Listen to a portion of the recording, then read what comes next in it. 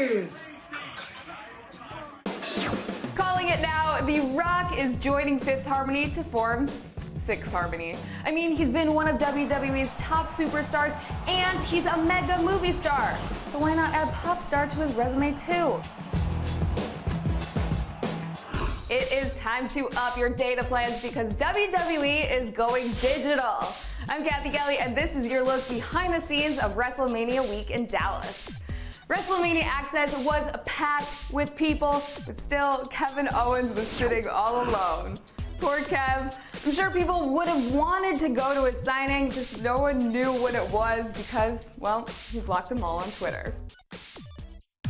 Girl power was in full swing at WrestleMania. Charlotte, Sasha Banks, and Becky Lynch competed in a triple threat women's match that will go down in the history books and each superstar went all out with their gear for the WrestleMania debut. Sasha donned a pair of tights and kicks inspired by her idol, Eddie Guerrero, the ones that he wore when he won the WWE Championship in 2004. Charlotte wore the first set of wrestling boots she ever owned. After the match, Becky Lynch with a few battle wounds. Homegirl sported a shiner and seven stitches. Talk about being a total bad lass. Shane O'Mac no. is on top of Hell in a Cell. No, Shane, don't do it. Can't do this. Shane, Shane, no, no. Shane McMahon's Hell in a Cell dive left AT&T Stadium absolutely breathless. But at least one of the 101,763 was very vocal about wanting Shane to stay on the ground. ESPN's Michelle Beadle was the voice of reason, and when Shane saw Undertaker roll away, he probably wished he'd listened to Beadle. After leading her team to victory, Brie Bella revealed on Instagram that it was indeed her last match.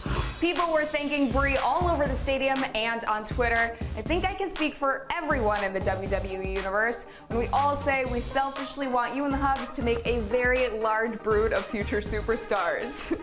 Meanwhile, the other half of the Bella twins is busy prepping for a return. We do wish her a speedy recovery, of course. Seeing her by Brie on the WrestleMania kickoff show was such a tease. We need Nikki back in the ring ASAP. Motörhead has played Triple H to the ring at multiple WrestleManias, and the game brought the spirit of the legendary Lemmy with him to Dallas. Let's leave you with the video posted by YouTube sensation Lilly Singh, who learned the hard way that only Triple H can make spitting water look cool. It's all about the game, and how you play it, all about control. Nailed it! Again, I'm Cathy Kelley. Thanks for watching.